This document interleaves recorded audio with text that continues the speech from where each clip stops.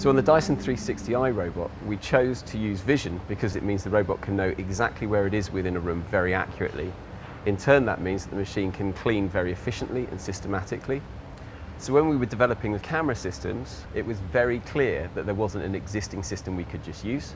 We very quickly decided not to use a forward-facing standard camera. What was needed was a system that can see all around the machine all at the same time. The advantage of such systems is you don't need to physically turn around to look to see where you are. And the other thing is anything that comes into view doesn't obscure the whole image so the robot isn't easily blinded. So this is an example of the panoramic image used by the robot to navigate by. One of the main advantages is all four sides of the room are visible in a single shot so the robot doesn't have to continually turn itself to actually see where it's going. It will take high contrast features throughout the image and use those to triangulate its position as the robot begins to move, one of the advantages is those features can be tracked throughout the image without ever going out of shot. So the navigation system is very clever. Whilst it's actually using a map to localize itself, it also has to create that map.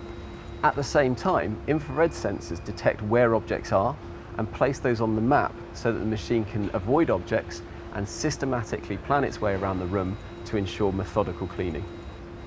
So the cleaning pattern is very simple. The robot only ever wants to travel within one robot's width of where it's been before. What that means is, as the robot moves around, when it gets to a location such as this, it doesn't go forward, it now needs to turn to maintain that. Eventually, the robot expands into a square spiral pattern. At no point in that clean has the robot ever been more than a robot's width away from where it was before.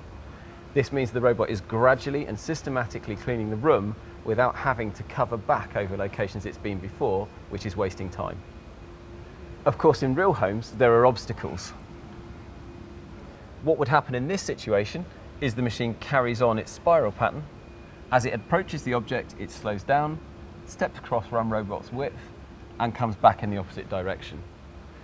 If it encounters further objects, which effectively trap it in, it will carry on cleaning until it can go no further and then make a sensible decision as to the next nearest point to resume cleaning. This is only possible because the robot has an internal map, it knows where it's covered and it knows where it's left to be cleaned.